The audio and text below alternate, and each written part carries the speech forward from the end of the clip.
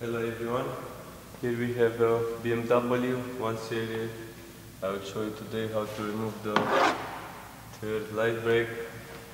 To this model is inside. You must remove this plastic cover. It has four clips under this with your hands or with a plastic removal tool pull carefully this plastic trim. Two. Another two.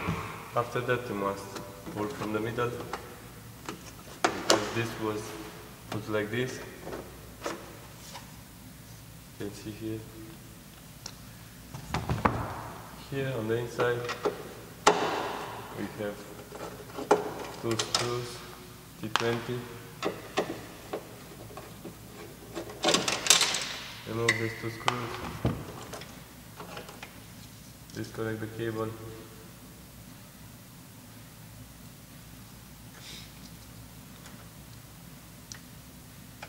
Hmm. It will not came so easy.